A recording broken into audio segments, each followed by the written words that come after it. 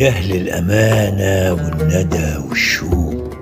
شبت عيدان من أرضنا لسمانة سامعين بشاير مؤمنة سمعانة هي اللي قالت قبلنا ومعانا. رمضان كريم يا مولانا. رمضان جميل عليك وعلى السامعين. والبداية أكيد من سيدنا الحسين. وكل يوم تيجي البشارة بالأمارة ونزور ونحكي نحكي حكايات أصحاب المقامات الزمن والتاريخ والناس الصالحين. وأول ما نبدي القول نصلي على الحبيب. مولانا رمضان المصري مع دكتور عمرو الليسي والممثل القدير أحمد صيام. مولانا زيارة جديدة للتاريخ يكتبها الكاتب الكبير محمد الشابة ويخرجها تامر حسني. مولانا على الشرق الأوسط. ربنا يجازيك يا رمضان يا مصري. معقولة؟ مدوخني وراك من صباحية ربنا. أطلع من شارع أدخل حارة من جوه حارة. حرام عليك يا أخي دوختني يا شيخ. يا صاحبي أنت تعبت ولا إيه؟ ما كده أمال يا راجل الناس يقولوا علينا إيه؟ أنا راكن العربية عند القلعة يا أخينا واخدها ماشي من هناك لحد هنا. إحنا فين يا عم؟ قطعت نفسي. أنا في باب الوزير يا سيدي. خلاص وصلنا. واللي قدامك ده جامع الست المصونة الكمل أم السلطان شعبان. وفي قول آخر جامع الأميرة خند بركة. أم السلطان أبو المفاخر شعبان ابن حسن ابن محمد قلاوون تاني قلاوون هي عيلة قلاوون دي إيه ما بتخلص؟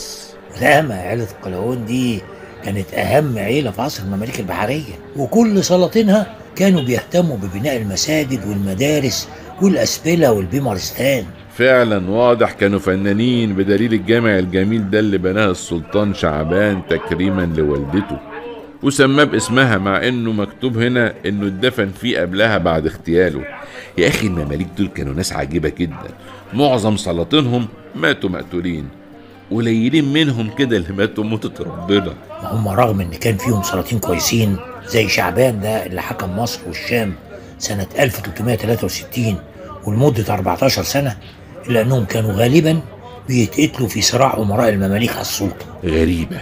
مع إن السلطان الأشرف شعبان ده زي ما بيقول صاحبك المقريزي كان من الحكام اللي حاربوا الفرنجة في الشام وكان محبوب من المصريين. كان محبوب عشان كان راجل طيب وبيحب أمه وبيقدرها والأم بالذات لها مكانة كبيرة قوي يا أخ عمرو عند أهل المحروسة واللي مالوش خير في أمه؟ ومالوش خير في الناس. واضح فعلا يا مولانا إن أم شعبان دي كانت ست عظيمة.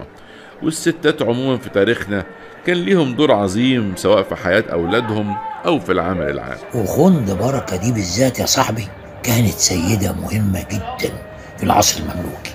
ويقال إنها كانت شديدة الكرم والإحسان وقدرت بذكائها ونفوذها تخلي ابنها شعبان يتولى الحكم بوصيتها وهو عنده عشر سنين. على فكرة أنا أعرف إن خواند ده كان لقب شائع في الزمن ده زي فخامتك أو معاليك وكان بيتقال كنوع من الاحترام كده سواء للرجالة أو للستات. الست أم شعبان لما راحت تحج سنة 770 هجرية خدت معاها 100 جمل شايلين بضايع وأكل وكسوة لأهل مكة والسنة دي سموها أهل المحروسة سنة أم السلطان.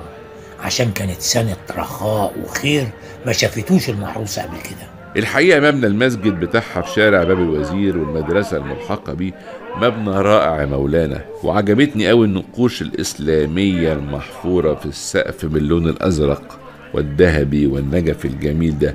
أكيد لما بينور بالليل بيبقى إيه؟ تحفة. ما أنا أصلي ليل مصري والمسك ختامي بختم المسك. الأرض بتتكلم أرابيسك الأرض بتتكلم عربي. تحت الشبابيك في ممر بابيك. كان شيخ بيغني في عمر أبيك. الله ينور عليك الله ينور عليك. وبكرة نتقابل ونكمل جولتنا مع مولانا في مساجد المحروسة. ونقول سلام يا مولانا. ونقول عليكم السلام. غدا. تتواصل الرحلة مع مولانا رمضان المصري يصحبكم فيها الدكتور عمرو الليسي والممثل القدير أحمد صيام. يكتبها الكاتب الكبير محمد الشبة الأشعار فؤاد حداد. والإخراج تامر حسني.